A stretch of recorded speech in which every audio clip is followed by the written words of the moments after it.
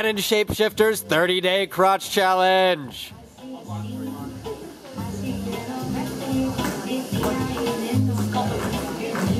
This is called the monkey.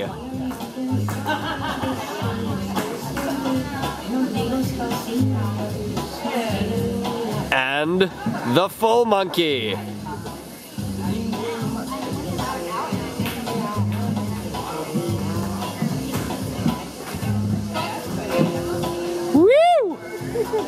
and the crotch unicorn.